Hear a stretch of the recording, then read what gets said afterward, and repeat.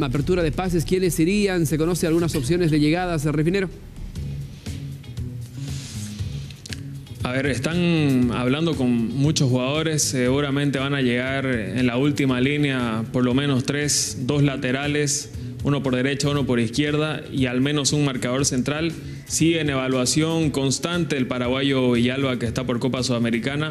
Veremos si finalmente tiene el visto bueno de Hoyos. Un central nacional también me, me dicen que llegaría.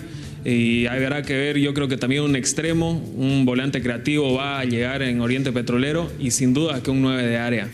Eh, aún en cuanto a nombres, no me autorizaron para dar algunos. Lo que sí puedo decir es que Hugo Rojas, que estuvo hace poco en el refinero, tiene grandes chances de, regresar luego de que haya habido una reunión ayer entre el jugador y Palmaflor para tratar de, rescindir. Entonces yo creo que, Hugo Rojas tiene muchas chances de volver a Oriente Petrolero. Bien, bien, Santi. También se conoció el interés desde La Paz eh, por Daniel Rojas, ¿no? El volante central que tiene eh, el plantel refinero. Pero vamos a estar pendientes. Te mando un abrazo. Gracias, Santi.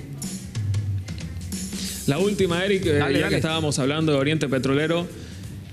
Entró a la puja por Luis Aquín, pero entró tarde, les comento compañeros, porque Blooming viene negociando ya hace varios días con el defensor nacional y está a detalles de cerrar su contratación. Oriente entró esta semana, podría decirles, con mucha fuerza, van a hacer hasta lo imposible para tratar de, que Akin juegue en Oriente, pero si yo me la tengo que jugar hoy por hoy, yo les digo que Akin eh, la próxima o lo que queda del campeonato va a jugar con, la camiseta de Blooming. ¿En lo económico tiene problemas Oriente, Santi, para poder fichar?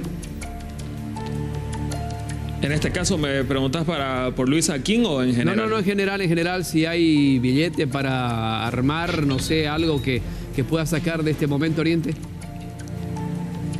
Sé que Oriente consultó por muchos jugadores, pero no ofreció y ni se acercó en algunos casos a, lo que pretendían los jugadores. Así que, creo que no hay mucho, mucha billetera para afrontar este mercado de pases. Sí hay puestos puntuales como un marcador central, un centro delantero, eh, que son los dos puestos donde más quieren reforzarse, donde harían mayor esfuerzo, pero veremos eh, hasta dónde les llega.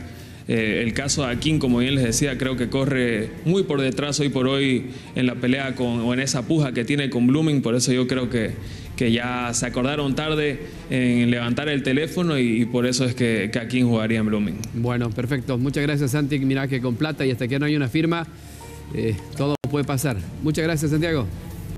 Digo Sport.